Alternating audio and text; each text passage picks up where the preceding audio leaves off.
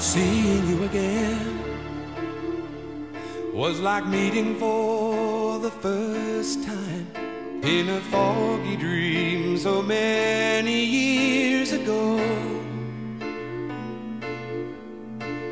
Strangers in an airport searching for a word to break the ice.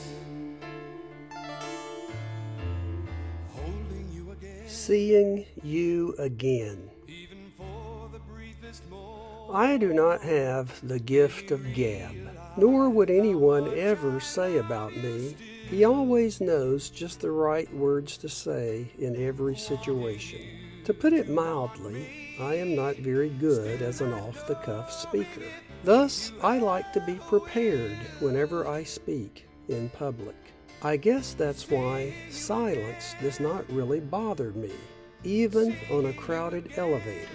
Some people, however, feel as if they have to break the ice in such situations. I was in a crowded hospital elevator once when a well known Baptist preacher from the community stepped aboard.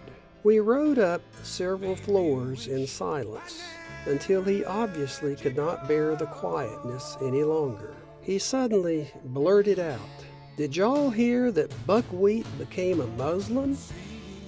He paused for a moment and then belted out the punchline to an insensitive religious joke.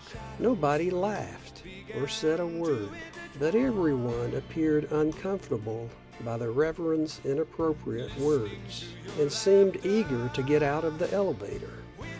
In the following years, whenever I saw this pastor in the hospital hallways, I could not help but remember this weird encounter. Searching for a word to break the ice. Dan Fogelberg. A word fitly spoken is like apples of gold in a setting of silver. Proverbs chapter 25, verse 11.